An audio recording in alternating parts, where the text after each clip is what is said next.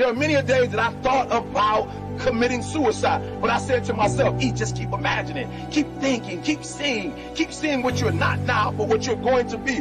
Sometimes it's going to be hard. Sometimes you're going to look all around you and nowhere do you see success. Nowhere do you see anything that remotely looks like success. But you got to embrace. Number two, you got to embrace the faith. You got to believe that although it's not happening right now, if you keep pressing, if you keep pushing, guess what?